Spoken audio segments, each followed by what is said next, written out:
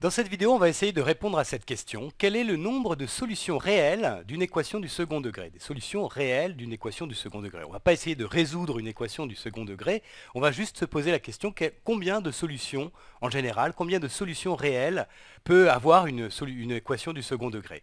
Et en fait, cette question-là, elle est reformulée ici, c'est exactement la même. Quel est le nombre de racines réelles d'un polynôme du second degré? Alors effectivement, ici on a un polynôme du second degré, et les racines, ce qu'on appelle les racines d'un polynôme, c'est les valeurs qui vont annuler ce polynôme. Donc on se retrouve avec cette équation-là, et on va chercher combien il y a de solutions à cette équation-là. Alors en fait, tu vas voir que le nombre de solutions réelles d'une équation du second degré, eh bien ça dépend de ce qui est écrit ici, de, de ce delta qui est là, qui s'appelle le discriminant, et qui vaut b au carré moins 4ac. Voilà, donc ce, nombre-là, hein, ce discriminant, c'est une caractéristique de ce polynôme-là coefficient a, b et c. Alors en fait, quand je dis que le nombre de solutions réelles de cette équation du second degré dépend du discriminant, en fait, ça dépend du signe du discriminant. Alors, on va étudier les différents cas. Donc, le premier cas qui peut se produire, c'est que le discriminant delta soit strictement supérieur à 0. Eh bien, dans ce cas-là, il y a deux solutions réelles, deux solutions réel. Et on a une formule pour, euh, pour calculer ces deux solutions. En fait, la formule, c'est ça, c'est x qui est égal à moins b plus ou moins racine de delta divisé par 2a. Voilà. Donc il y a une première solution qu'on obtient avec en prenant plus ici, et une deuxième qu'on obtient en prenant moins ici. On peut faire un petit dessin pour voir à quoi correspond cette situation-là. Donc je vais faire rapidement un petit dessin. Hein. Donc trace un repère. Voilà. Axe des x, axe des y. Et puis, alors, en général, la courbe représentative d'un polynôme, c'est un, une parabole. Et dans le cas où le discriminant est positif, en fait, la parabole, ça va être une parabole qui va couper l'axe des abscisses. Alors là, je vais la dessiner dans un cas particulier. Hein. Je vais prendre le cas où A est supérieur à 0 le coefficient du, terme de, degré 2 est supérieur à 0, ce qui veut dire qu'on va avoir une parabole orientée vers le haut. Donc ça va être quelque chose comme ça. Voilà. Et elle coupe l'axe des abscisses en deux points. Un point ici, qui va être, je vais appeler x1, et puis un deuxième point ici, que j'appelle x2. Donc ce sont ces deux points-là qu'on obtient en prenant ici plus ou moins. Voilà, alors si A est négatif, on obtient exactement la même chose, sauf que la parabole va être orientée vers le bas, elle va couper l'axe des abscisses en deux points aussi. Alors voilà, ça c'est un premier cas. Il y a un deuxième cas qui peut se produire, c'est le cas où delta est égal à 0. Hein. Si delta est égal à 0, eh bien dans ce cas-là, il y a une seule, une seule solution réelle. Une seule solution réelle. Et on peut la calculer, on peut calculer la valeur de cette solution. Et en fait, c'est un cas particulier, on l'obtient par un cas particulier de cette formule-là. On prend cette formule-là, mais en considérant que delta est nul, donc delta égale à 0, donc racine de delta est égale à 0. Et ce qui reste, en fait, c'est x égale moins b sur 2a moins b sur 2a. Ça, c'est la seule solution réelle d'une équation du second degré qui a un discriminant nul. Alors, comme tout à l'heure, on peut faire un petit dessin pour voir ce qui se passe, pour voir à quoi ça correspond. Donc je fais un repère. Voilà. Et en fait, bon, la courbe représentative du polynôme, c'est encore une fois une parabole, c'est toujours une parabole, mais là, dans ce cas-là, en fait, cette parabole, elle va toucher, toucher l'axe des abscisses sans euh, le traverser, et en fait, elle touche exactement en ce point-là, x. Donc le point d'abscisse moins b sur 2a. Voilà, alors ça c'est comme tout à l'heure, hein, c'est le cas où A est strictement positif. Si A est strictement négatif, eh bien on obtient la même chose mais avec une parabole orientée vers le bas qui touche l'axe des abscisses en ce point-ci. Alors le troisième cas qui peut se produire, c'est que c'est celui où delta est strictement négatif.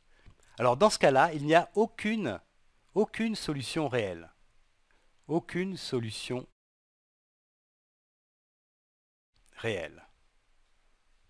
Par contre, il y a deux solutions complexes, ce qui fait qu'on peut quand même factoriser le polynôme. Il y a deux solutions complexes. Et ces deux solutions-là, on peut les obtenir aussi par une formule qui va être proche de celle-ci. C'est cette formule-là. x, ça sera, les deux solutions, elles sont données par moins b plus ou moins i fois racine de moins delta, l'opposé du discriminant, le tout divisé par 2a. Et ici, i, c'est l'unité imaginaire, hein, donc c'est le nombre tel que i au carré est égal à moins 1. Voilà.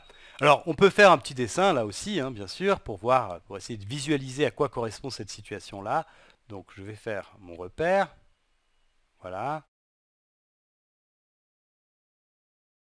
Voilà.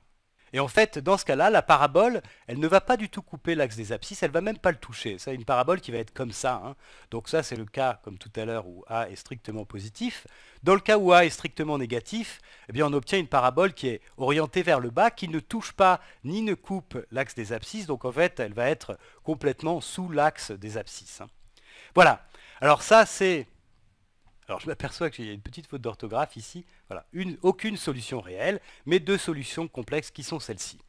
Voilà, alors maintenant on va faire quelques exercices pour, euh, pour être sûr qu'on a bien compris. Je t'ai préparé quelques exercices, les voilà. Donc ici je t'ai donné plusieurs équations de, degré 2, hein, des équations du second degré, et à chaque fois il faudrait qu'on trouve le nombre de solutions réelles. Hein. Je suis sûr que tu peux très bien le faire tout seul, donc mets la vidéo sur pause et puis après on corrigera ensemble. Alors en fait, il y a deux étapes hein, à chaque fois. La première, c'est d'arriver à identifier le polynôme dont on parle. Ensuite, on va calculer le discriminant. Et puis, selon le signe de, de, ce discriminant, on pourra dire combien il y a de solutions réelles. Ici, on ne demande pas de résoudre l'équation, mais simplement de donner le nombre de solutions réelles. Alors on va le faire avec le premier, et en fait là, la première étape est assez facile puisque le polynôme est déjà donné, hein. il est déjà identifié, il n'y a pas besoin de manipuler l'équation pour se ramener à la forme normale, enfin la forme habituelle d'une équation du second degré. Ici on a A, c'est ce terme, c'est le coefficient de x au carré, donc c'est moins 1, B, c'est le, coefficient des x, donc c'est 3, et puis C, c'est le terme constant, donc ici c'est moins 6. Donc là, on peut calculer le discriminant, hein, delta. Alors c'est b au carré moins 4ac. Donc b c'est 3, donc on va avoir 3 au carré moins 4 fois ac. Alors a, on a dit que c'était moins 1, fois c, et on a dit que c c'était moins 6. Donc voilà, ça c'est le discriminant. 3 au carré moins 4 fois moins 1 fois moins 6. Alors 3 au carré, ça fait 9. Et puis ici, on a moins 1 fois moins 6, les moins vont s'annuler. Hein. En fait, tu peux aussi voir, là, il y a trois fois, trois signes moins, donc moins fois moins fois moins, ça va faire, ça va donner un nombre négatif. Donc, ou alors en tout cas, si tu veux, on peut faire comme ça, moins 1 fois moins 6, c'est la même chose que 1 fois 6. Et on se retrouve avec moins 4 fois 1 fois 6. Donc moins 4 fois 6, ça fait moins 24. 4 fois 6, ça fait 24. Donc moins 4 fois 6, ça fait moins 24. Donc on a ici delta, le discriminant, qui est 9 moins 24. 9 moins 24, c'est strictement négatif. Voilà. Et ça, ça suffit pour dire qu'il n'y a aucune, solution réelle. Il n'y a aucune solution réelle. Bon, il y aura deux solutions complexes, mais là, ce n'est pas l'objet de l'exercice. On regarde uniquement les solutions réelles. Hein. Alors maintenant, on va passer à la deuxième équation. Alors ici, elle n'est pas donnée sous la forme habituelle, 5x au carré égale 6x. Le, réflexe là, c'est d'abord d'aller l'exprimer sous la forme habituelle. Donc en fait, pour ça, on va euh, faire passer le 6x de l'autre côté. Hein. Donc ça va donner 5x au carré moins 6x égale 0. Alors, il y a un petit piège quand même, c'est que là, on a A qui est égal à 5, B qui est égal à moins 6, et puis C est égal à 0. Hein. Il n'apparaît pas ici, mais je vais quand même l'écrire pour que ce soit plus clair. Après, ce n'est pas forcément ce que tu dois faire toujours, mais là, pour bien te faire comprendre, en fait, cette équation-là, c'est 5x au carré moins 6x plus 0 égale à 0. Et là, on a bien la forme habituelle, hein, avec le coefficient des x au carré qui est a, ici ça vaut 5, le coefficient des x qui est b, ici ça vaut moins 6, et puis le coefficient constant, le terme constant c'est c, et ici il vaut 0. Donc on peut calculer le discriminant. Le discriminant, ça va être b au carré, donc moins 6 au carré, moins 4 fois A, A c'est 5, donc moins 4 fois 5, fois C qui est égal à 0. Alors ici, 4 fois 5 fois 0, ça fait 0. Donc finalement, le discriminant ici, il est égal à moins 6 au carré, et moins 6 au carré, ça fait 36.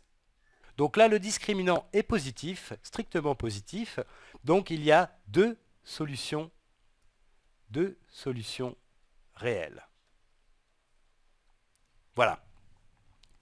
On passe au troisième cas, 41x au carré moins 52 moins 31x égale 0. Alors là, il y a un petit piège, hein, parce que on a l'impression, on peut avoir l'impression que là, on a le polynôme du second degré, c'est effectivement c'est le polynôme du second degré, mais il n'est pas écrit dans le bon ordre. Donc on ne peut pas dire que, on a, tendance à dire que A c'est le coefficient du premier terme, B le coefficient du deuxième et C le coefficient du troisième. Et là, on dirait que B est égal à moins 52 et C est égal à moins 31. C'est pas le cas. Il faut faire très attention parce que c'est vraiment un piège très courant. Et beaucoup d'élèves qui se trompent avec ça.